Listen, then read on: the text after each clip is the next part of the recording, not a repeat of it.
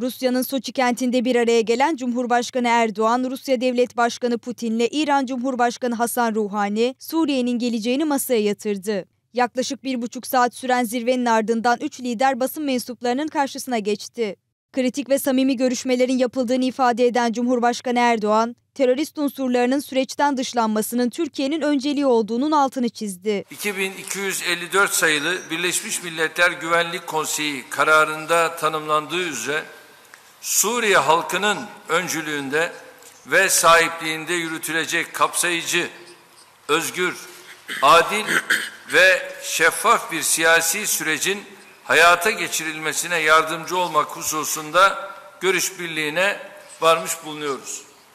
Bu bağlamda Suriye'nin siyasi birliği ve toprak bütünlüğüyle ülkemizin milli güvenliğine kasteden terörist unsurların süreçten dışlanması Türkiye olarak önceliklerimiz arasında yer almaya devam edecektir.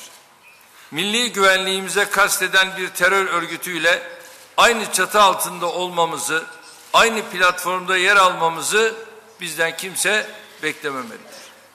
Suriye'nin toprak bütünlüğüne ve siyasi birliğine bağlılığımızı ifade ediyorsak, bu ülkeyi bölmeye çalışan eli kanlı bir çeteyi meşru bir aktör olarak göremeyiz.